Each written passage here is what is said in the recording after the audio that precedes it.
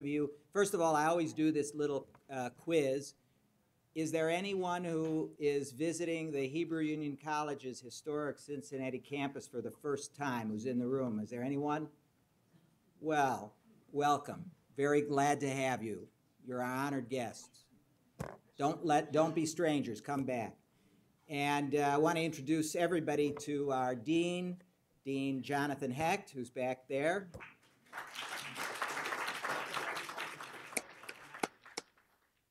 And uh, so uh, let me, on behalf of our dean and behalf of our faculty, welcome everyone to our campus and, of course, to the Jacob Rader Marcus Center, the American Jewish Archives.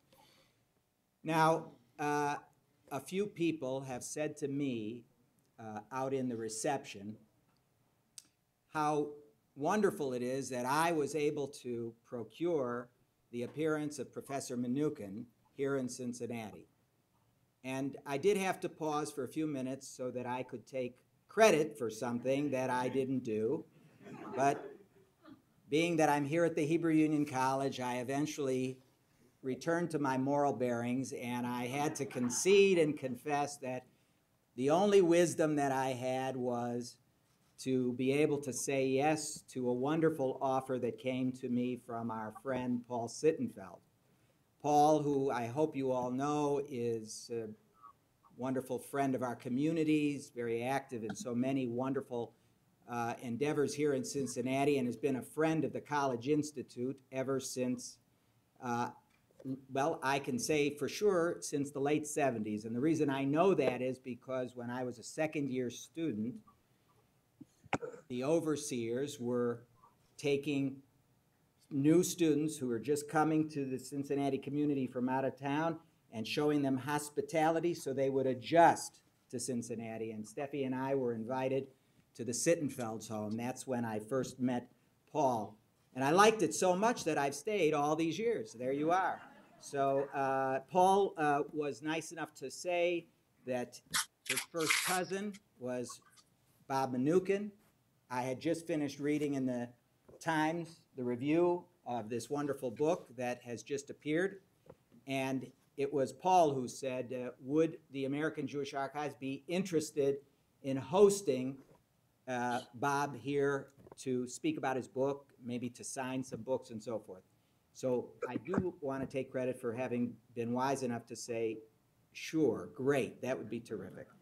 And uh, I do want to also thank, before we begin and before I turn the introduction over to Paul, I do want to thank um, all of those folks from the American Jewish Archives. I don't see them all here, but uh, I think everybody in this room knows that a program like this and all the effort that goes into organizing it uh, doesn't just happen. And we have so many devoted staff members and colleagues here at the American Jewish Archives who work so hard to provide for these programs. Uh, in a little bit, after Professor Mnookin, we're going to have a response from a person who probably doesn't need an introduction uh, in this group, and that is the uh, current interim uh, president of the Hebrew Union College, the past president and chancellor, now chancellor emeritus of the Hebrew Union College. He's got, what, four or five more days, David? Is that it? Uh, that's why Six, but who's counting? Who's counting? There you. Go. So uh, uh, I uh, I'm really honored, David. So honored that uh, in this very busy last week uh, that you've been able to join us for this program as well. And we're looking forward to hearing your response to Professor Mnookin in a little bit. So, with having that uh, said, I do want to welcome the man who really made this program possible today to introduce our speaker, Uh, Paul Sittenfeld.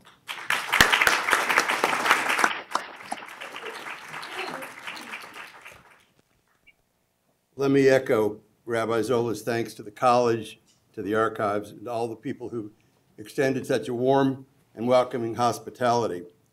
Gary and I have known each other through many years, but he obviously does not know me well enough, or he would not have taken the generous, if unwise, risk of allowing me to introduce Professor Mnookin and Rabbi Ellenson.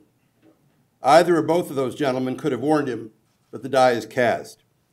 As we all know, cousins can be claimed or not as we wish. One can take them or leave them. Friends are completely optional. In this case, I claim both as friends with genuine affection and admiration. Robert Mnookin has had and continues to have an impressive and meaningful career. A graduate of Harvard University and Harvard Law School, a Fulbright Scholar, a clerk on the United States Supreme Court, a distinguished law school faculty member at the University of California at Berkeley, at Stanford, and for more than two decades at Harvard. His greatest contribution, at least to all of our shared extended family, is that he married Dale more than 50 years ago. Dale, who's happily with us this evening. Together, they're the proud parents of two most accomplished daughters, two splendid sons in law, and four grandchildren. As noted, Bob is my first cousin, but if that isn't even enough, he and I grew up in the same house in Kansas City, in a duplex with his parents on the first floor and mine on the second floor. As a consequence of tight housing throughout the country after World War II, our fathers and mothers purchased this home for what they anticipated to be one year. Actually, we, we remained under the same roof for 20 years, so we know, know each other somewhat more than well. Further, Bob and Dale have been extraordinarily hospitable not only to Betsy and me, but to our four children at their home in Cambridge, Massachusetts. A distinguished scholar, the author or editor of more than 10 books, and an international leader in the field of mediation and conflict resolution, perhaps his most significant qualities in a world woefully short of them is that he is, a kind and a principled person. What I share with Bob, and what I also share with Rabbi Ellenson, is one thing. All three of us married well above our station. David Ellenson clearly needs no introduction, but that is no reason to leave him unscathed. His interim presidency of Hebrew Union College, following a lengthy incumbency, is a consequence of his characteristically generous willingness to assume this current role after the tragic death of Aaron Panken. This interim responsibility will conclude on April 1. What significance one should draw from the date of April 1 is for each listener to decide. David and Jackie are cherished friends of Betsy's and mine. For many years, when David tires of substantive conversation, cerebral reflection, and biblical research, he can always count on me for something vapid and useless. Some months ago, with my hopeless attempt at humor, I magnanimously emailed David about my possible candidacy to become the new president of the college. After less than 30 seconds of careful consideration of that opportunity, David emailed back, and I quote, You need have no worry about seeming self serving or overqualified. The community has already told me that the brightness of your being has blinded them, and their one fear is that should you accept the post, the rays from your person might well overwhelm all persons with whom you would be in contact. Something like Yahweh speaking to Moses No one shall see my face and live. While there is universal recognition of your talents, the committee may not be able to select you, but we shall see. End of quote. And indeed, we have seen. David Ellenson is a wonderful person, and I join all of you in looking forward to Robert Mnookin's presentation and David Ellenson's reflections on it and response to it. Thank you.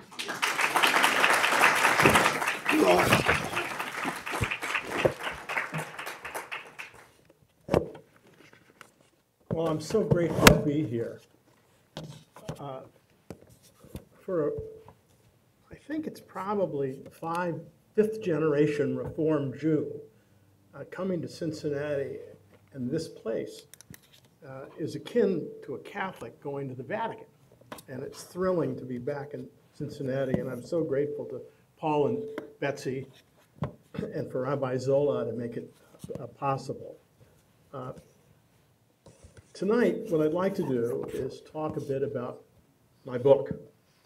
And it's about the puzzling nature of Jewish identity in America and the challenges that I see facing the American Jewish community.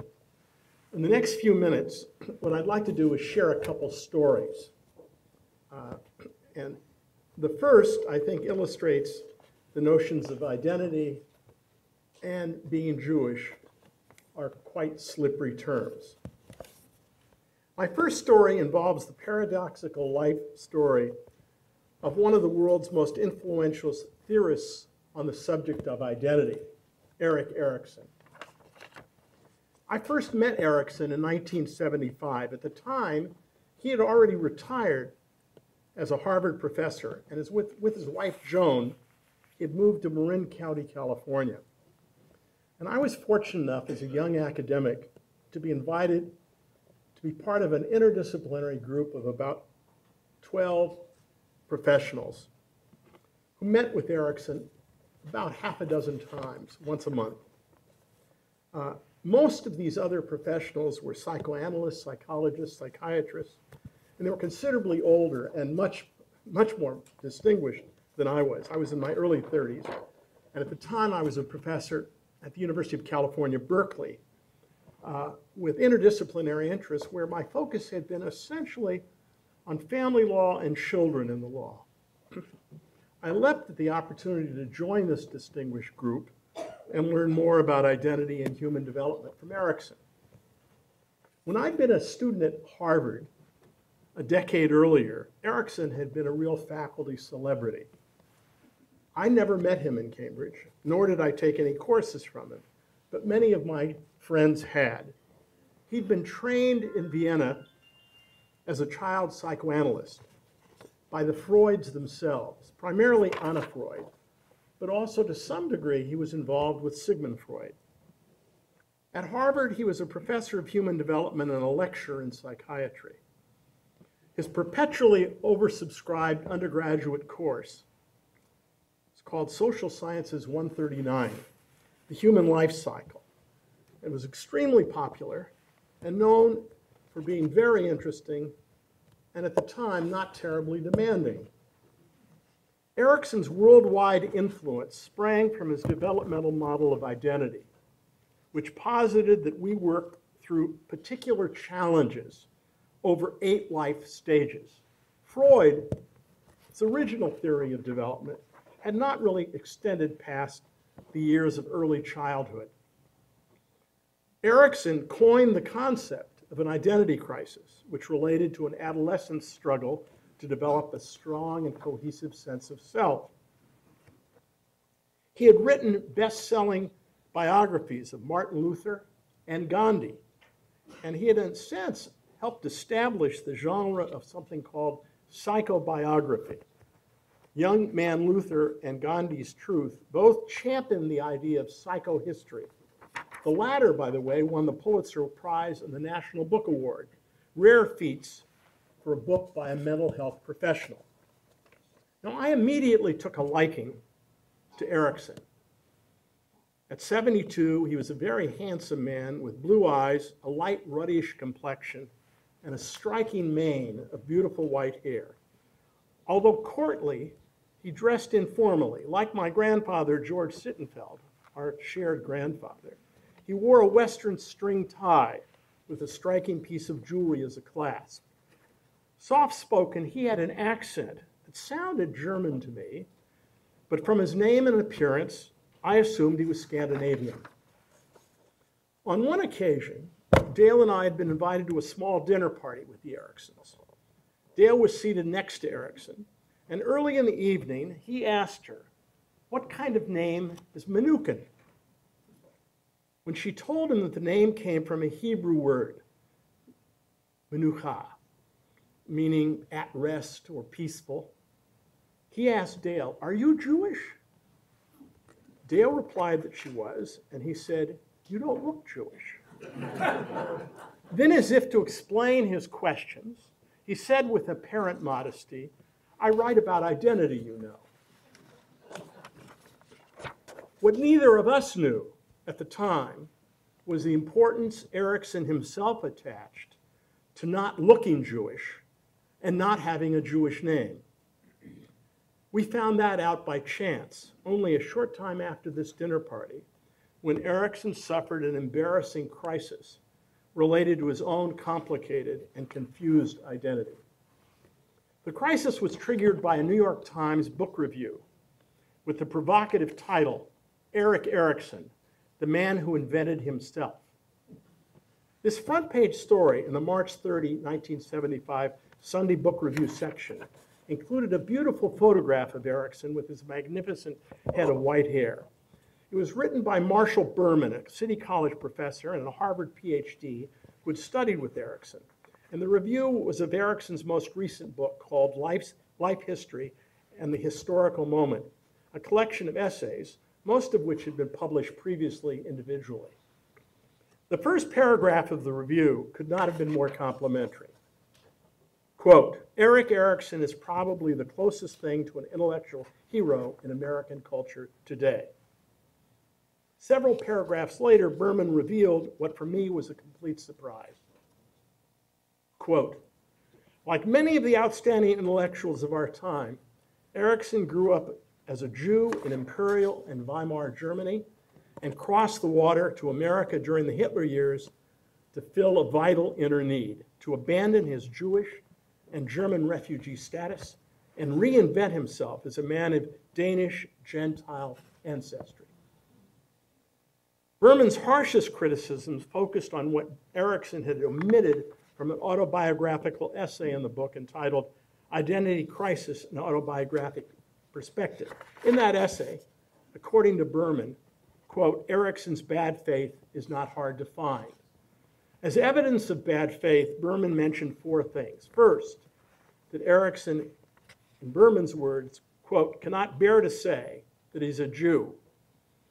In his essay, Erikson had acknowledged that his stepfather, Dr. Theodore Homburger, was Jewish, and that Erickson had been raised as a Jew. But Erikson had failed to state that his mother, née Carlin Abramson, was Jewish too. No one knew, and to this day, no one knows who Erikson's father was. Second, that Erikson had changed his surname as an adult, having grown up with Homburger's name and having been raised in his household. The name change, according to Berman, represented Erikson's repudiation of his stepfather, whose Jewish name he should normally bear. Third, that the new surname Erikson had chosen was not his father's birth name, but rather a name he'd made up, drawing on his own first name. Berman noted, quote, the cosmic chutzpah of his claim to be Erik Erikson, his own father, in the most literal sense, a self made man. Fourth and finally, Erikson didn't admit that he'd been a refugee, a victim of Nazism. In the essay, Erikson asserted that he'd come to America voluntarily, not because, quote, in Berman's words, as a Jew he had to go. The review did more than accuse Erikson of dishonesty about his Jewish heritage. It suggested that in evading or denying his Jewishness, Erikson was inauthentic and had lived his life inconsistently with his own developmental theories. Shortly after the review appeared, the seminar met for what I think was the last time. Erikson himself was not present. I suspect he was embarrassed and shaken by the review. The rest of us, many of whom were Jewish, were stunned by the intensity of Berman's attack. We discussed what, if anything, members of the group might do individually or collectively to show support for Erikson. The consensus was that whatever the underlying facts, Berman had unfairly attacked Erikson's character. Should a letter be sent to the Times in his defense? If so, what should it say? What we did not discuss in this group were the issues relating to Jewish identity that arose, at least for me, from Berman's review. Berman seemed to assume that the way to determine whether someone was Jewish was to apply the matrilineal principle of Jewish law. Erikson's mother was Jewish, therefore Erikson was Jewish. But did that mean he had to be Jewish forever? Was his biological father's background of no relevance? Was Erikson not allowed to forge his own identity? Moreover, I wondered, had Erikson converted to Christianity? And if so, shouldn't that be relevant to his identity as a Jew? Like others in our group, I was unwilling to criticize Erikson. I wished to have more facts. My guess was that Erikson no longer thought of himself as Jewish, and because of anti Semitism, was reluctant to be publicly identified as a Jew. But no one in our group, myself included, posed the most troubling question raised by the Berman Review. Was this man we liked and admired, this man I dedicated to, dedicated to identity and wholeness, a self hating Jew? I was raised to believe that it was wrong to try to pass as a Gentile. But when I think about Erikson, I wonder is it always wrong? What if a person feels no connection to Judaism as a religion or to the Jewish community? What if the burdens of anti Semitism become unbearable, as they may have been for Erikson growing up in Europe? Why should it be wrong to stop identifying yourself to others as Jewish under such circumstances? In other words, why shouldn't you be allowed to opt out? Questions like these now, some 40 years after my encounter with Erikson, encouraged me to study in more detail Erikson's story and the various strands of his identity as an entry point into my own grappling with what it means to be Jewish. in doing so, I hope to expose the unsatisfying way in which American Jews today often categorize and pigeonhole each other. The second seed for my project was planted in a family dinner table conversation in Oxford, England. When my daughters forced me to confront the puzzling question of who counts as Jewish and my own ambivalence. I was spending a sabbatical semester in Oxford, England with my family. My wife Dale and I had enrolled our two daughters, Jennifer, then 11, and Allison, 8, in English schools. Over dinner one night at the start of the school year, Jennifer told us about her new class, RE, Religious Education, taught by Miss K, the formidable headmistress. Jennifer reported that Miss K began the class by asking, Who here is of the Anglican faith? Nearly all the girls, according to Jennifer, raised their hands. Miss K then asked, Who was Presbyterian? Catholic? even Baptist. A few more hands went up for each. Finally, Ms. Kay turned to the class and asked, Is anyone here not of the Christian faith? I asked Jennifer what happened next. Well, I raised my hand, and Miss Kay asked, And what are you, my dear? I told her, Jennifer said, I'm Jewish. Miss Kay paused for a second and said, Oh, how interesting. then she asked whether Jennifer's words, my parents would object if, if as part of the course we read parts of the New Testament as well as the Old Testament. I told her you would not object. Well, Dale and I told Jennifer that she had responded quite appropriately. Trying to be psychologically sensitive, I then asked, Well, how did you feel about all of this? Jennifer looked hard at Dale and me and asked, When are we going to become Jewish? Dale and I were a little stunned. I responded slightly defensively.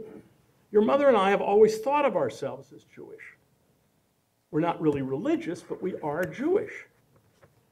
Implicit in Jennifer's challenge was what does it mean to be Jewish? Who should count as a Jew? Left unsaid, but implicit in my response was the idea I'd grown up with. Being Jewish was not a thing you needed to choose to become. You just were, whether you liked it or not. By birth, Dale and I were Jews, therefore, so was Jennifer. Descent alone was enough. One thesis of my book is that for my grandchildren's generation, this will no longer be true. To her credit, Jennifer was not satisfied with my response to when will we become Jewish. She shot back, You know what I mean.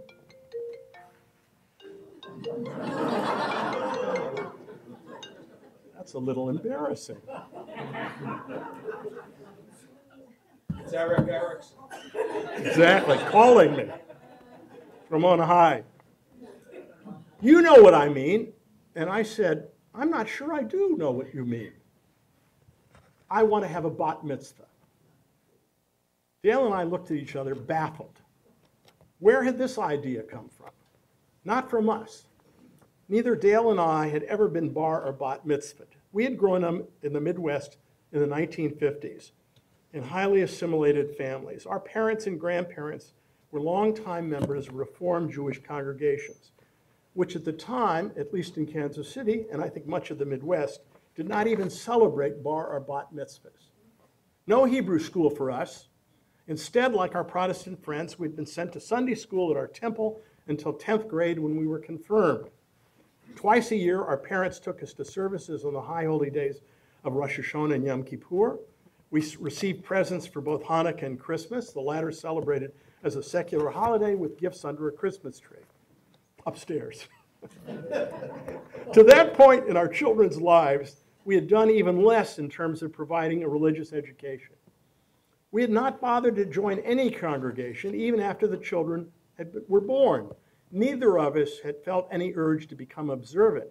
And unlike the Midwest during the 1950s, we felt no community pressure to join a synagogue or temple. The spirit of the 50s, at least in Kansas City, was well captured by Will Herberg in the book Protestant Catholic Jew. You had to belong to one of the three teams. And I remember going to college and meeting Jewish kids from New York whose parents didn't belong to any congregation at all. And I, in Kansas City, they didn't exist. I mean, you, you had to belong. It didn't mean you had to be religious, though. In all events, one of the four challenges that I identify in my book facing the American Jewish community is that our commitment to Judaism as a religion for many is thin. While the overwhelming majority of American Jews today report that they take pride in being Jewish, with the exception of the Orthodox, we American Jews are less observant than our Christian neighbors, at least if measured by attendance at religious services or membership in a church or synagogue. Many Jews are not believers. Nearly half of Pew's respondents say they are agnostic or do not believe in God at all. Uh, 22% of those who identify themselves as Jewish also reported they have no religion, what Pew called Jews without Judaism. These were people that said they took pride in being Jewish, but they had no religion. That figure um, is said balloons to almost a third among millennials. Let me turn to what I see as the second challenge facing the American Jewish community. My second story is about the youngest of my four grandchildren, Eli Alcott.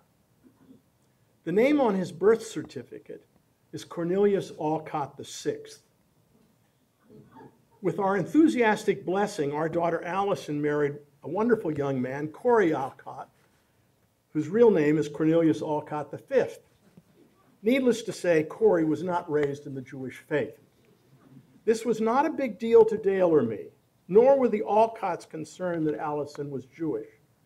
That Allison married someone who is not Jewish is hardly exceptional. Today, among American Jews, as people in this room surely know, intermarriage is the norm, not the exception. The statistics are stunning. Since the year 2000, 57% of American Jews who married wed non Jews. If you put aside the 10% of American Jews who are Orthodox, the number is 70%. Now, this represents a stunning change. Traditional Jewish law prohibited intermarriage, and indeed, among observant Jews, they would sit Shiva, say the prayer for the dead if someone married outside the faith. In my grandparents' generation, intermarriage for Jews was exceedingly rare. The estimates are that it was about 2% in the first decade of the 20th century. Steady and now, there's been steady and now explosive growth. In my parents' generation, intermarriage was unusual. In our generation, it was becoming much more common, but was still the exception. For our children, even more now, intermarriage is the norm. Now, many Jews believe intermarriage is the greatest threat to American Jewish continuity and survival. Until recently, Jewish American leaders, including nearly all rabbis, focused discussions on how to prevent or discourage intermarriage. I disagree with this approach. While I think parents should be absolutely free to encourage their children one way or another, uh, I think it's a foolish general strategy and that it's doomed to fail and will often be counterproductive. To my mind, the issue is not how do we stop intermarriage, it's what are we doing to engage the next generation. The challenge is how to best welcome and integrate these families into the American Jewish community. And most importantly, how to nourish a Jewish identity in their children. In the reform movement today, it's my impression, and I'm happy to report, that most reform congregations today uh, enthusiastically try to encourage intermarried families to join their congregation and become part of Jewish life, whether or not the non Jewish spouse uh, converts. Now, I think there are reasons to be optimistic. A recent study in Boston, for example, showed that over 60% of the children of mixed marriages were being raised as Jews, typically with the encouragement and support of the non Jewish parent. In America today, thousands of children of mixed marriages are being raised as Jews with the support of their non Jewish spouse. And I'm sure many of you here today uh, may have, proudly identify yourself as Jewish, and may have a parent who's not. Now, I'm happy to report that our grandson Eli Alcott, now 14, celebrated a year ago his bar mitzvah uh, this past spring. Now Eli is both his nickname and his Jewish name. But all my grandchildren are, of course, works in progress.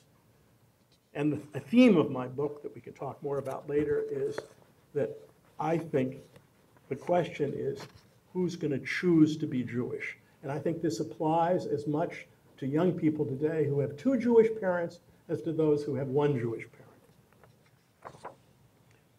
Let me say a few words about Israel, which I see as representing a third challenge. Uh, The 2013 Pew survey suggests that caring about Israel is an element of what most American Jews think being Jewish means. Support for Israel and a commitment to its survival have long contributed to American Jewish identity. I count myself among those who take pride and are very committed to the survival of Israel as a Jewish and democratic state. It was once thought that pride and support for the state of Israel would serve to unite a diverse Jewish community and to buttress Jewish identity in this country. Today, I fear the opposite is often becoming true. Certain present day practices of the Israeli government now fuel intense conflicts among American Jews and reinforce deep divisions within the American Jewish community. At issue are two aspects of Israeli governmental policy. First, the Israeli Palestinian conflict and the continued Israeli military occupation of the West Bank. And second, the exclusive role of the Orthodox rabbinate in defining for Israel what is authentic Judaism. Both are political issues that illustrate what I see as Israel's core challenge. Its core challenge is managing the tension between being Jewish and democratic in the face of serious security concerns. In recent years, the center of political gravity in Israel has shifted to the right on both these issues, favoring increasingly ethno nationalist and expansionary policies with respect to the West Bank and also the treatment of Palestinians. Because of the trends I identify in my book, my grandchildren will be more free than any previous generation to choose whether and how they are Jewish. I see the American Jewish community as a big tent with open flaps. And under this big tent are a remarkable variety of institutions, uh, religious and non religious. Who should count as a Jew? I propose in my book, after some analysis, a two pronged set of standards. My test whether one is a Jew in terms of being under the big tent has a very simple test public self identification. If someone wants to publicly identify themselves as Jewish, I don't care whether their mother was Jewish, or their father was Jewish, or whether they've had a religious conversion. That's good enough for me. Under the big tent, however, uh, there are a variety of institutions.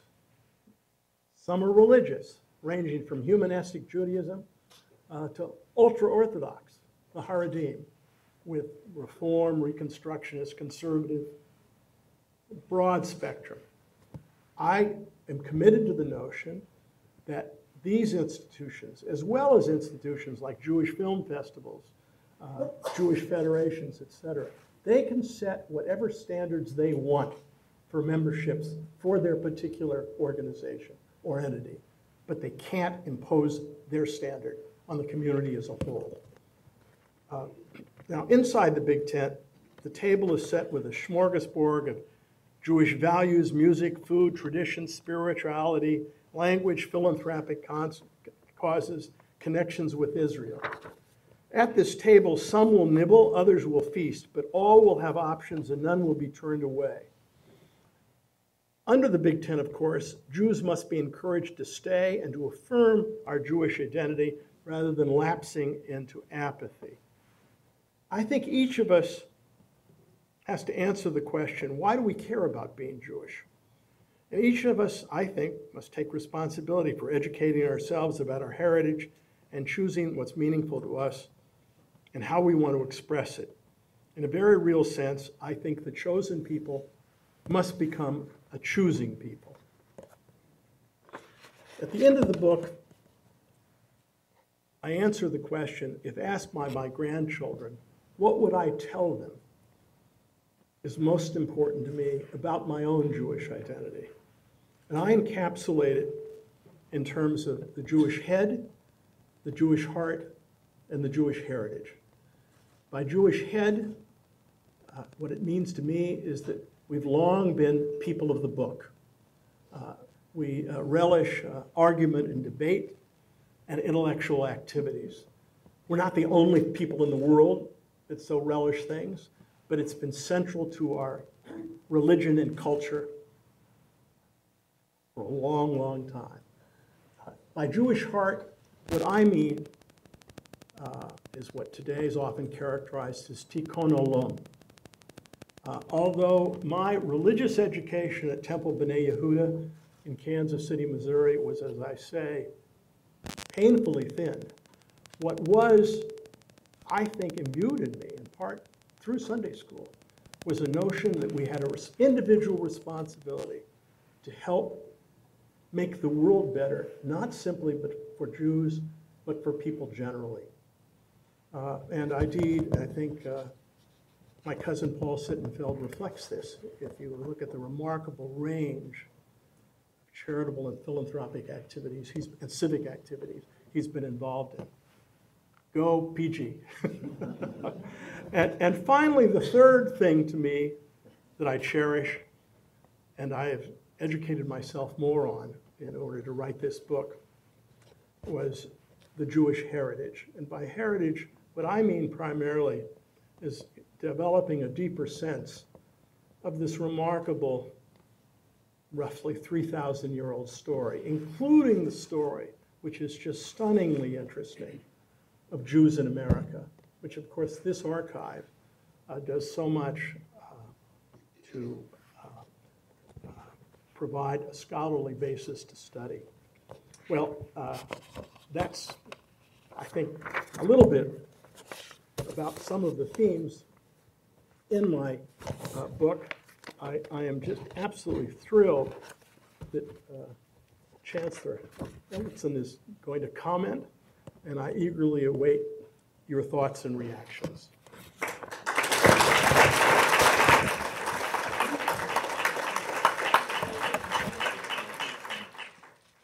Well, Dr. Ellenson, we have now moved you to the very front of the classroom. You've, a- and uh, so, uh, also, I should mention that uh, we're streaming this live.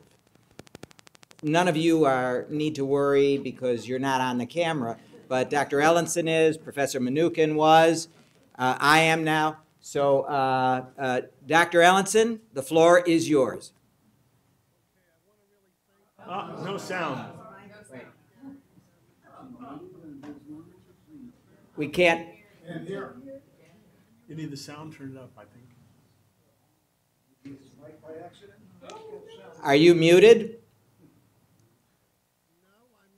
Working earlier. Hmm, Let me see what's, I wonder if we bump something here. Hold on. Oh, it got bumped. Okay. Okay, there we Okay. go. Got turned on. Whoops, somehow. Okay. Now he's good. Dr. Try again. Okay, Can you hear me now? Yes. I thought maybe Professor Zola really didn't want to hear my words tonight. I wasn't, uh, wasn't sure. Uh, It is really a great, great honor and pleasure, uh, Robert, to be able to, res- to respond to your work. And uh, what I would like to do, boy, I'm getting a lot of echo. I apologize for that. Uh, would be to offer several thoughts about your work tonight, primarily from my perspective as both an historian and a uh, sociologist. Um, so let me really move ahead. And I do want to thank my friend Paul Sittenfeld for the very kind, uh, kind introduction. Uh, really a great honor for me to be with you. I am currently at sitting at Columbia Barnard Hillel, where I have another talk to give in a little while tonight, and I really am sorry and do wish that I could uh,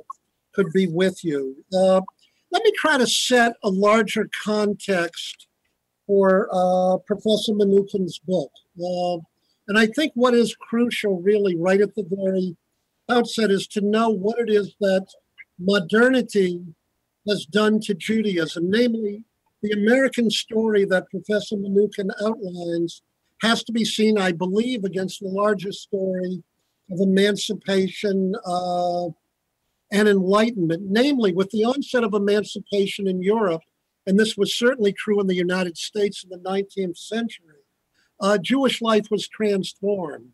Uh, culturally, Jews came to learn ultimately more about non Jewish culture than Jewish culture. If I were to begin suddenly to give this speech in Hebrew and not in uh, English, I'm going to presume that most of you present would not understand. That is not meant to be a criticism. It is simply to observe that more Jews know more uh, about non Jewish culture than Jewish culture in the world in which we live. You begin to get these cultural changes religiously. Classical rabbinic Judaism rested upon the notion of a twofold revelation in Torah. Uh, Afilu masha batik ba'atid laharot lifnei rabo kavar ne'amar lamoshe b'sinai. Even that which a veteran pupil one day recited before his rabbi, it was already revealed by God to Moses at Sinai. Most of us no longer believe that. If we believe that literally, in the divine revelation of written and oral law, um, we could not have Reformed Judaism. As a boy, I grew up in an Orthodox background that I was required to often recite the lines, Reshit kol tzarich ladat shekol Torah kula ben shebichtav ben sheba'al peh nina me'akadosh baruch hu atzmo al yedei Moshe Rabbeinu alav shalom b'har Sinai. Yeh efshar l'shanot afilu kots echad lo lahakel v'lo lahachmir. The first thing you need to know is all of the Torah written in oral was given by God to Moses at Mount Sinai. It is impossible to change even a single jot or tittle, neither to be lenient nor stringent. In the world in which we live, Reform Judaism came and challenged these ideas, the notion of historical development. And quite frankly, most Jews, I know this will be shocking, uh, most Jews no longer believe that all of the halakha is divinely revealed. There actually are Jews who eat non kosher food, who ride on Shabbat. Uh, I need to report all of this data to you tonight. Culturally and religiously, Jews begin to change. And politically, the modern nation state emerges. What this means is that the Jewish community, with the demise of corporatism in the 18th and 19th century, the Jewish community becomes voluntaristic. The French and American revolutions become real revolutions because, at least in theory, authority is vested in the individual. And uh, while in classical rabbinic Judaism, in a setting where Jews had at least uh, the community semi autonomous power, the community and the rabbi functioned as civil magistrates. In the world in which we live, rabbis at best have influential and not political authority. That is to say, I can tell each and every one of you, and I will, you are obligated as good Jews to give a gift to the Hebrew Union College Jewish Institute of Religion. This will be my last fundraising pitch as president of the college. But the reality is, I do not possess coercive legal sanctions at my disposal. I have to use, at best, influential authority, and that's contingent in all kinds of ways on the values that you've internalized as to whether or not you'll respond to such a claim? What begins to happen when Jews culturally know more about the larger culture in which they live, when religiously they no longer believe in the divinity of all of Jewish law, when politically they become individual citizens of modern nation states in every Western country where this has occurred in the 19th and 20th century, by the third generation after emancipation, Jews intermarry at a rate minimally of 33%. Jews in England, France, Germany, the United States, by the third generation after these changes begin to intermarry. If we look at America, and I go back to the um anecdotes that uh, and texts, quotations, uh, statistics that Professor Mnookin cited. If you were to take my grandparents' generation who immigrated to the United States, in general, those people did not intermarry. By the 1940s and 50s, the rate of Jewish intermarriage in this country, the children of those immigrants, intermarriage was very, very low. By 1970, the third generation, grandparents had immigrated to this country. The rate of intermarriage reached about 30%. And by 1990, it was up to 50. And in the 2013 Pew study, 70% of non Orthodox Jews marry people who were born non Jewish. The Jewish community, as Professor Mnookin points out, and I would just use different terminology to describe it, is simply no longer ethnically homogeneous. We have an ethnically and racially diverse community with which we live today. The question is, how will Judaism respond? By the way, as early as 1934, Mordecai Kaplan, the great founder of Reconstructionism, in his Judaism as a civilization, asserted that the great test of Judaism in an open society like the United States would be would it in fact attract the non-Jewish partner and even more the children uh, of a Jewish and non-Jewish partner to Judaism. This would be the real test of Jewish civilization. So I think what we need to keep in mind is that these challenges that Professor Mnookin has correctly pointed out confront Judaism as something that has an historical past, and we need to understand that the world in which we live today is radically different even than the world in which I lived uh, as a boy growing up in Newport News, Virginia in the 1950s and 1960s. What all of this has meant, I think, and as I understand Professor Mnookin's point, a correct one about Jews becoming a choosing as opposed to a chosen people, is that we have moved from traditional definitions of Judaism, that we have moved from a Judaism of boundaries, is the way I would describe it, to a Judaism of meaning. And the question is, what are the meanings that Judaism can provide in order to provide uh, for Jewish continuity and Jewish import in the lives of our children and grandchildren today? In terms of how it is that identity is determined, I would point out at least one significant element in this transformation. Uh, classical rabbinic Judaism, as Professor Mnookin correctly points out by citing the matrilineal principle, has a status definition. That is to say, one is Jewish if one enters the world. I can say this through a Jewish womb. If you were born of a Jewish mother, you are Jewish. It has nothing to do with voluntaristic affirmation whatsoever. The late Alvin Reines, our teacher at Hebrew Union College, said that Judaism, classical Judaism, possesses a birth dogma. The question is, is that appropriate today? How is it that identity is determined? Classical rabbinic Judaism had the notion, to quote the Talmud and Sanhedrin, Yisrael afa pishachata Yisraelhu. Even when a Jew sins or leaves the people, their status remains that of a Jew. But the issue of identity is radically different than status. First, as Professor Mnookin points out, how does the self view oneself? How is it that each person regards him or herself? And clearly, uh, I would assert that that should become a paramount way in which we look at and regard Jewish identity in our day, but I am also aware that uh, identity isn't determined only by the self. The question becomes, in part, how do people outside of the group view one? If your last name is Alcott, do people view you as Jewish or not? Or if your name were Rachel Levinson and you did not identify Jewishly, would people still see you as Jewish? And the answer might well be yes. And then finally, within the group, how is it that you would view and regard yourself? Certainly within the Reform, Reconstructionist, and Renewal movements, we tend to have a very, very broad uh, swath of people whom we would consider Jewish.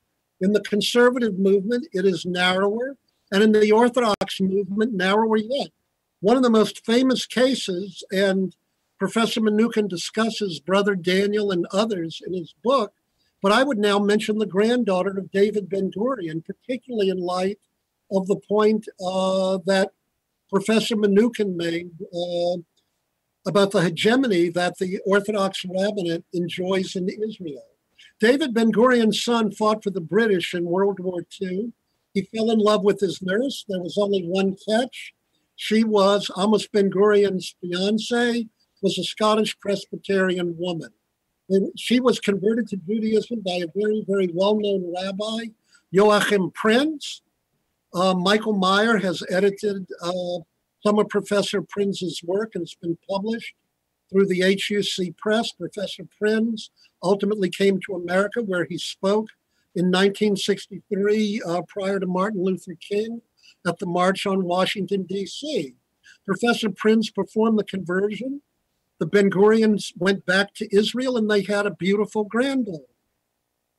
From the standpoint of self, David Ben Gurion's granddaughter grew up in Israel, spoke Hebrew, served in the Israeli Defense Forces, was the granddaughter of the prime minister of the Jewish state.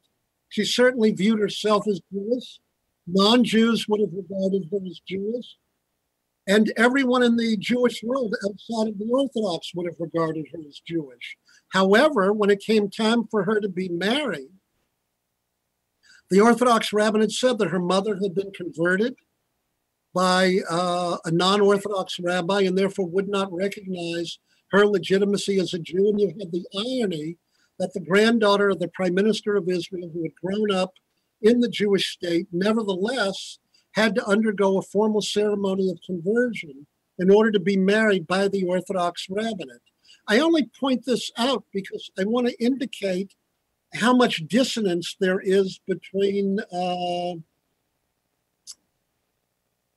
dissonance between issues of status and identity and how complex the entire issue is when we talk about the matter of who is a Jew. Though I think that, Robert, your point was for us in the American Jewish community to really try to have a big tent and attempt to be as inclusive as possible.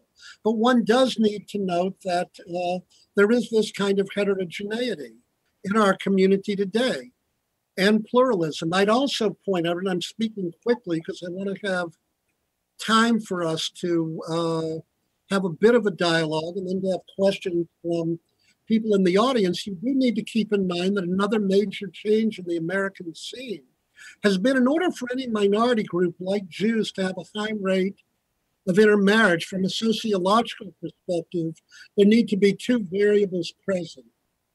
Members of the minority group have to be thoroughly acculturated, thoroughly acculturated into the mores of the majority. If that does not occur, large numbers of the minority group will not uh, intermarry. But in addition to members of the minority group being highly acculturated, members of the majority culture have to view members of the minority group as highly desirable marriage partners. So there need to be two variables, both internal and external. Within the United States today, the two minority groups with the highest rates of intermarriage are Indian Hindus, namely Hindus from the Indian subcontinent, and American Jews. We two groups have the single highest rates of intermarriage. The question then, and here I agree completely with Professor Mnookin, what should our policy be then? How do we welcome these families. And here I would argue, along with him, that there needs to be a policy of inclusion. Professor Mnookin cited the study in Boston, where a large number, 66%, of children in intermarriage identify as Jews. San Francisco has a comparable number. One should note that the federations in Boston, under Barry Schrage, and then San Francisco, had policies of inclusion and welcoming for intermarried families. It seems to me that this is undoubtedly the way in which uh, our Jewish community needs to move. This needs to be the vector of our community today, and it will be, as Professor Kaplan, Rabbi Kaplan said, a test that will reflect on the uh, resiliency of our community. Let me conclude with just a couple of last thoughts, and here I would really invite Professor Mnookin's uh, response. I heard your advice about the head, heart, and heritage as a way to respond to what these challenges are. But here I would mention uh, two books and studies to you. One, by a man whose work I am sure you know far better than I do, Ronald Dworkin. And I'd like to talk about Dworkin's book, Law's Empire. Dworkin, of course, was a very, very famous professor of law.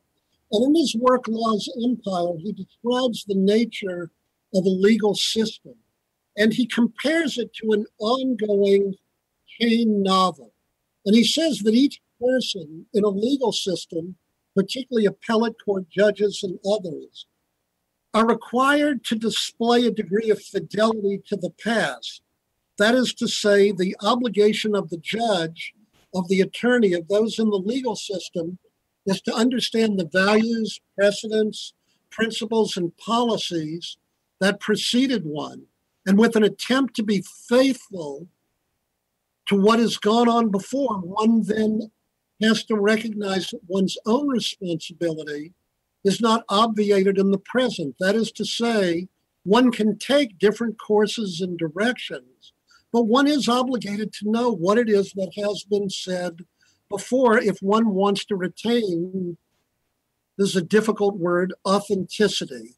So, the question that I would ask you, Bob, as you respond is in terms of your response of head, heart, and heritage, and defining these things so broadly, how would you maintain a sense of authenticity to Dworkin's metaphor, if you were to apply it to Judaism, of ongoing authenticity uh, and vitality? And connected to that, then, I would cite the work of uh, not Erik Erikson, but his son Kai Erikson. And I always think of his book, The Wayward Puritans. And what Erikson points out in The Wayward Puritans is it's a study of the Massachusetts Bay Colony in the 17th century. And what he argues in this book is that the rate of crime remains constant, though the substance of crime differs from decade to decade.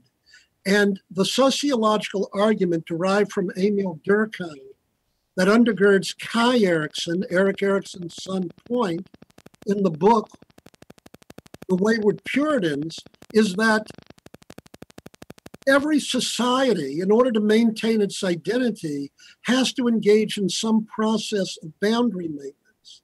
Or another way to put it is, citing Durkheim, deviance is a healthy part of every society. Because from a sociological viewpoint, while deviance can't be defined in essentialistic terms, there needs to be a boundary in order for people in the group to understand where the boundaries are so that their own identity can be maintained. Namely, the argument that Kai Erikson puts forth out of a sociological tradition begun by Durkheim is that identity is formed over against the boundaries wherever they are. If you are a fan of the University of Cincinnati Bearcats, I presume you're not a fan of Xavier. If you go to Yale, then you don't go to, and you can fill it in Harvard. If you teach at UCLA or root for UCLA, you don't go to USC. I could make a joke here, but I'll refrain from doing it. My question, really, Bob, is to ask you how would you answer them these questions of authenticity uh, and boundary maintenance that do seem necessary for a healthy society uh, and a healthy community like the Jewish one in light of your own call. And I agree with it for inclusion so that we have a Judaism of meaning and not of boundaries. And I thank you very much. And I hope that my remarks tonight have been uh, coherent. And I again want to indicate how very appreciative I am of your thoughts.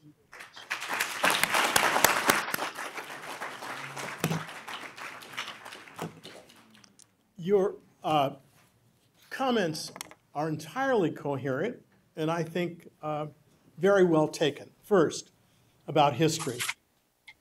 Uh, I've read the interview with you and some of your own writings on modernism, okay? And I couldn't agree more. And as you know, uh, in the book, I even, although I don't try to develop historically going way back, I spend a fair amount of time on American Jewish history. And I do put it against uh, the Jewish Enlightenment in the 18th century. And even Yes, as you, absolutely. you and I agree that Spinoza is sort of the, in some ways, the font. Indeed, when the Times characterized my proposal as revolutionary, and in parentheses, they said perhaps heretical, it pleased me that I may be one of the few Jews since Spinoza uh, that could be viewed as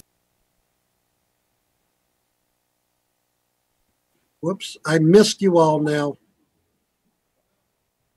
Gary, I can't hear. Okay, now I can hear. I was complimenting you on your scholarship, so it's important that you hear it because I think it was. Very it was important I hear that. Just make sure your cousin, your cousin Paul hears it, that's all. I'm, I'm going to lecture him on it tonight. Okay, Uh, uh, great. I, I, I think, though, the also let me say a few words about identity, because in the in the book I do, do talk about it. My own view of identity is that we all have many strands in our identity. If I ask you, "Who are you?" And I asked you to list a number of things, you know, I, I, I would include uh, that I'm a father, a husband, a grandfather. I'm, I'm a law professor and a mediator interested in dispute resolution. Uh, I'm Jewish. I'm from Kansas City. Uh, uh, and there are a lot of other strands too. But I think the salience of particular strands people have in their identity aren't fixed. I'm really against kind of uh, uh, identity essentialists that think people Right. are one thing now and forever. Uh, and um, second, I also, as you know from the book, completely agree with the notion is that although I suggest a test for the big tent of public self identification, identity is more complicated because it depends, particularly if you're identifying with a group. Do other members of that group think you're part of the group? That can affect your identity. And second, do people who are not members of the group, what do they think? Do they think you're a member of the group? That, all of that adds complexity. Now, in terms of uh, your uh, notions of uh, uh, Dworkin and uh, Haig Erikson, both of which I think are very interesting, let me say the following. What is obvious is I am not a professional Jew. I have not devoted my life to the study of halakha or the Talmud, and I, I am not, moreover, I am not trying to tell anybody how to be Jewish. I'm describing in the last chapter the head, heart, and heritage are for me what's meaningful. What I cherish about the American Jewish community is the extraordinary diversity and variety of that community. It's only as a Harvard law professor that I've ever really gotten to know any Haredim. But Harvard Law School now admits some ultra Orthodox kids who really don't have a college degree. They've just gone to a yeshiva. They've scored very high on the LSATs, and they're very interesting law students because, of course, they've been studying law a long time. It's been a wonderful experience. They've been in my seminar as I was creating this book, and what thrilled me is they said they were learning something from what we were studying and what was in my book because their own educations, in many ways, are extraordinarily narrow in terms of studying uh, history or culture. but they also know a great deal about a lot of things I don't know a lot about. I love that. I love the variety. And I guess I don't want a boundary. Look, at, I, I- know the argument, you've got to set boundaries. And by the way, in a formal sense, my Big Tent standard does have a boundary. If you don't self identify, you're not a Jew. Uh, and if you want to self identify for the Big Tent, you are. That's a boundary. Now, the question is does that kind of definition have a sufficient tie to the halakhic heritage that it's going to be persuasive to those that are, feel bound by halakha? And the answer is no. On the other hand, what I like pointing out, this is a bit of a lawyer's argument, but I think it's an interesting argument. As I point out in my book, you know what the test was in Israel during the first 10 years of the state as to who qualified as a Jew for purposes of the law of return? There was no statutory definition. And the ministry in charge of immigration issued a regulation saying anyone who self identifies is welcome. Indeed, there was a regulation that said there shall be no inquiry to sort of test whether they had a Jewish mother or anything else. You take their word for it. Now, what happened around 1958 in Israel is all hell broke loose with the Orthodox, who opposed that, and ultimately it was changed to some degree. But I think it quite interesting that in the state of Israel, they had a definition akin to my Big Tent definition at a time, Yes. of course, when they were trying to encourage people to come and help build the state. Well, I guess in a way, I think for the American Jewish community, we ought to have the same all embracing, generous standard. And as I say, because I'm a liberal, under the Big Tent, if institutions under the Big Tent want to, in fact, have other boundaries, fine, they can do it for their own institutions. But I don't want them imposing it on the community as a whole. Anyway, that's what my argument is. And I guess uh, I, I, I, I leave it to, I mean, I actually, as you know in the book, I devote a chapter to the, the matrilineal principle. Right. And I re- rely a lot on the scholarship of Shaye Cohen. And, uh, you know, what's, what's, what's really interesting, of course, is, is, is the biblical pedigree of the matrilineal principle in the views of, of, of, many scholars does not exist. And many of the patriarchs had married women who were not part of the tribe, and no one suggests that their children weren't members of the tribe, and there was no process of formal conversion. Uh, uh, our, the matrilineal principle that we now apply, this, these issues of descent, were, in my view, a creation of rabbinic Judaism about the second century of the Common Era. And I think it was no doubt in response to some felt changes then, uh, but um, I, I think we can, in the same way that the Reconstructionist movement and the Reform movement changed their definitions. I mean, I guess what I'm suggesting, at least for purposes of discussion, because most of all, I wanted to provoke a conversation uh, in our community, that I, I think the operational standard for the community as a whole, for the Big Tent, ought to be, as I say, very broad. Thank you. Stay up here. Dr. Ellenson, can you hear me? Yes, I do. Okay, so I want to give everyone, uh, well, not everyone, but I'm going to open it up to uh, any questions that are pressing that people would like to ask. I'm also going to be uh, a a strict referee. We, we're going to end between 6:45 and 6:50, which is what I had promised. So uh, right now, I'm vamping so that if there are questions, we can, I can call upon them, and I want to just give you some instructions about the questions. So, uh, and then after we conclude, just so you know, uh, you, you're welcome to visit with Professor Mnookin, and I understand that we have volumes. You can buy them and maybe even have them personalized. So, uh, Yeah, I just want to comment that Bob owes me a signature. uh, on my You got it. Now, just a word about how to work the classroom. in front of you, there are uh, nailed down so that no one takes it, uh, little microphones like this. And when I call upon you, all you need to do is press the button so that your light comes on, and then you can speak to the front of the room.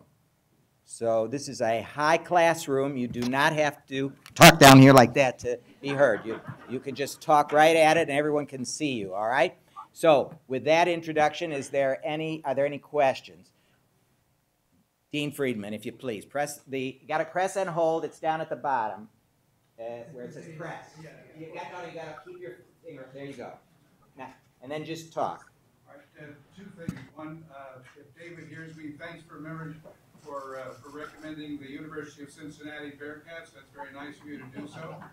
Um, My question is, so you also mentioned, um, Jewish continuity. And lot of this Big Tent issues and the boundary issues has to do with Jewish continuity now in this century. Is that a new definition now? For some of us who have been involved in a good period of time, uh, Jewish continuity had a little more of a uh, uh, conservative uh, message. Is that, is that for Dr. Ellenson? Well, Dr. Ellenson? Well, the only part I didn't get, I appreciate what Dick said. I, I, I missed the question part of it. I know it's about Jewish continuity. Well, what, he- he, he was asking if uh, that concept, which has been, correct me if I'm wrong, which has been so popular uh, in the late 90s and the beginning of the 21st century, No. is that, a is that an, a topic that has a more conservative valence? That is the idea of Yes, continuity? okay. I apologize. Yeah, I would argue that it does, and that's precisely why I frankly, and I hope none of my comments uh, would indicate otherwise, I frankly applaud this book, The Jewish American Paradox. I think that what Professor Mnookin has done really quite well is to move us from the conversation of Jewish continuity in the way in which it was uh, framed in the 1990s to talking about how it is that we come to embrace choice in a changing world. The issue of Jewish continuity was tied up, I think, in some way with a rather narrow understanding of what uh, comprised Jewish continuity. I'm not opposed to that, and that's why I posed the questions that I did to Professor Mnookin, at least in making my comments. But having said that, I do think the big tent approach is. Um, is is really the much better one in our day. You know, there used to be lots of sociological studies demonstrating that uh, you know Jews who intermarried in the '60s and early '70s didn't raise their children as Jews. Well, when the Jewish community condemned such marriages as bad for Jewish continuity, why should it surprise one that the children of such marriages, the offspring chose not to be Jewish. Uh, I just don't think it was a very pragmatic policy for our community uh, to adopt during that uh, during that period. Uh, I can see that Bob wants to make a couple of comments. Well, uh, first, I, I, I agree with what you, you're saying. And I think, let me say a word about the title of the book, The Jewish American Paradox. Uh, the paradox is, in my view, uh, in the 2,000 years of the diaspora, uh, there's never been a place like America where Right. a Jewish minority has been so integrated into a society and so accepted. I mean, I just read a stunning set of statistics. Jewish Democrats now hold the gavel for the House, are, are chairing the House Judiciary Committee, the House Appropriation Committee, the House Foreign Affairs Committee, the House Intelligence Committee, the House Budget Committee, the House Ethics Committee, Committee. Uh, the, the minority leader in the Senate is a Jew. Uh, the Pew study, when it asked broad attitudes towards religion, guess what? The most recent one. Jew, the Jews and Judaism were the most admired faith, you know, compared to other major religions. Now, Uh, And you can look at, of course, the economic statistics, the number of Supreme Court justices, Nobel laureates, all of this. Jews have achieved and are integrated in a remarkable way. Well, what's the paradox? The paradox is, in the American Jewish community, there is enormous anxiety about continuity, that we're about to disappear.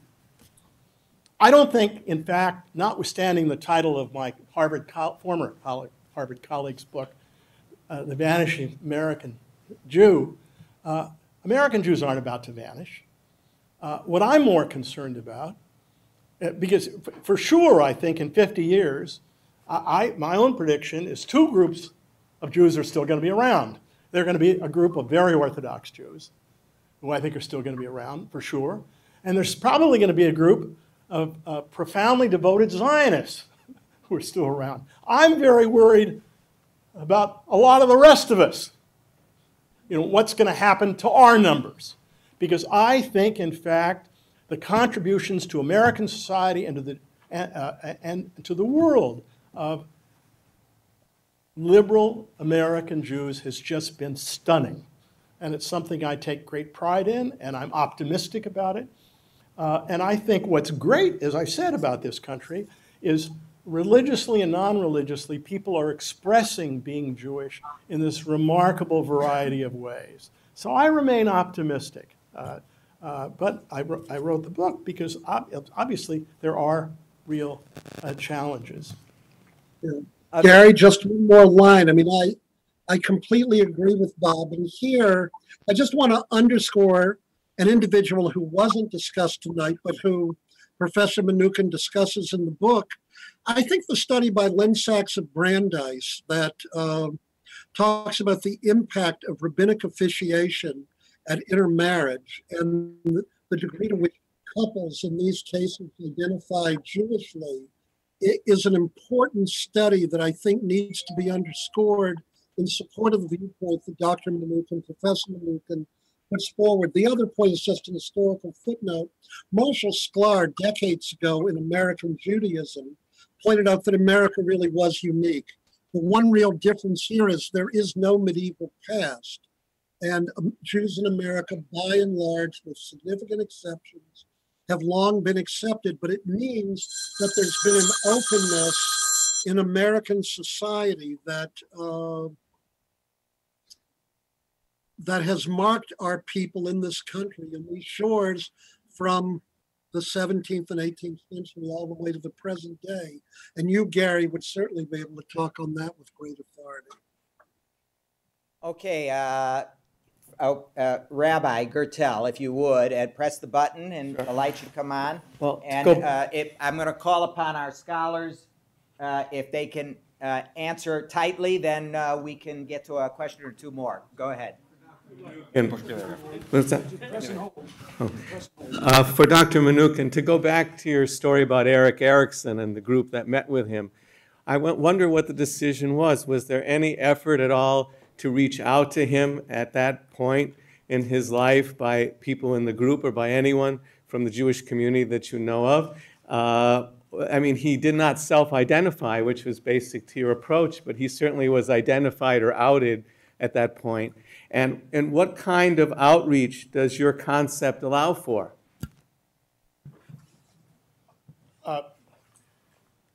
I'm all for outreach, although I'm not in that business.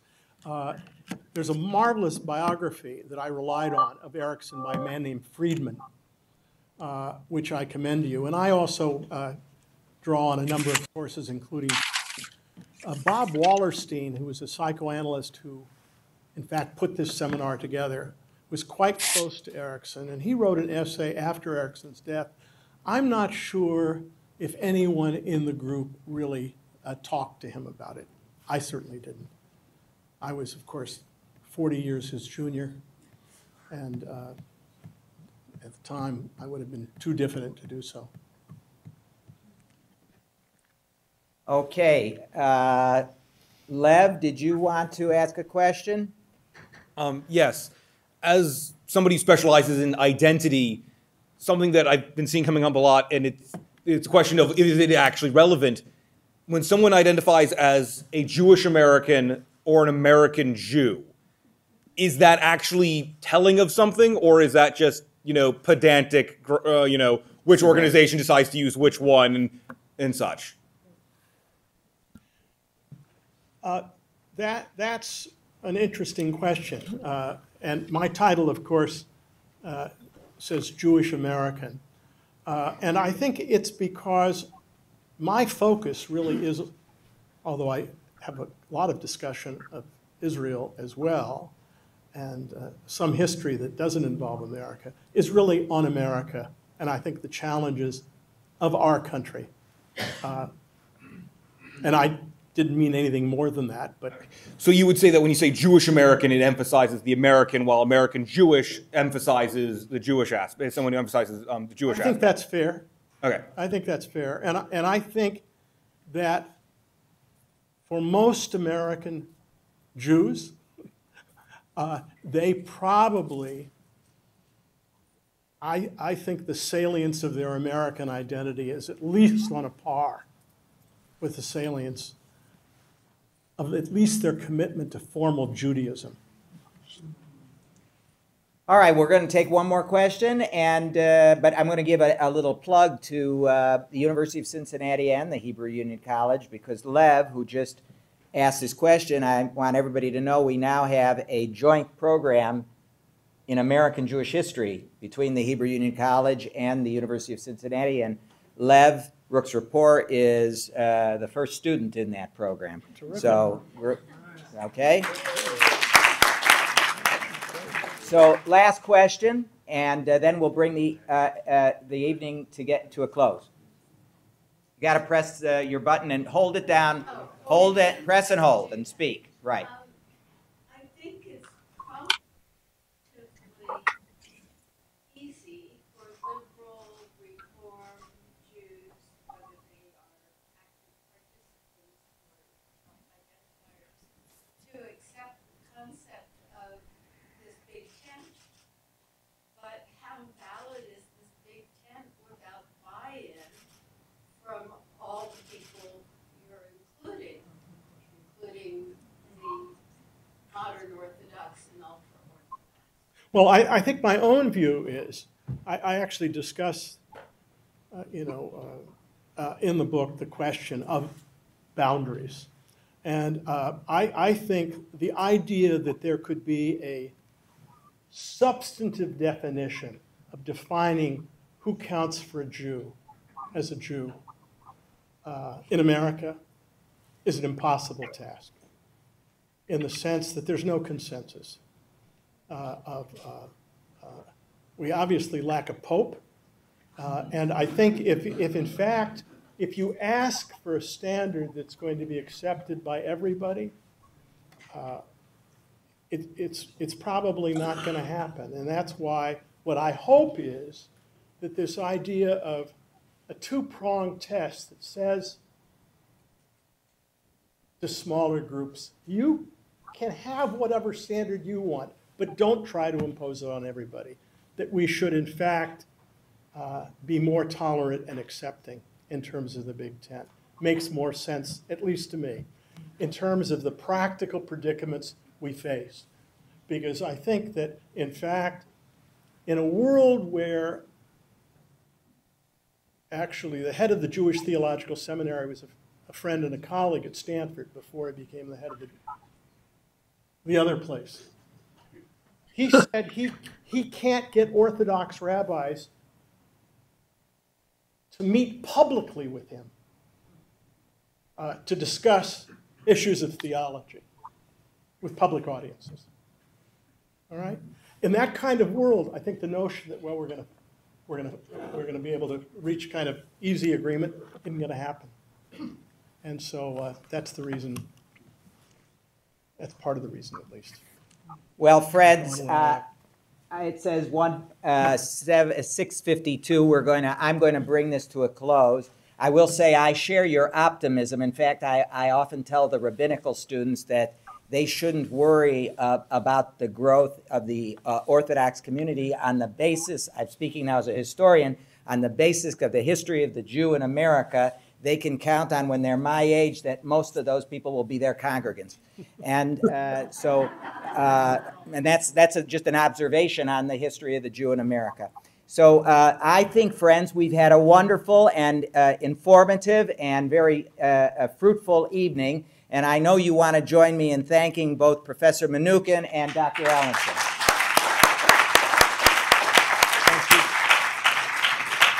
Thank you very much. Well, thank you very much. Thank you for supporting our programs.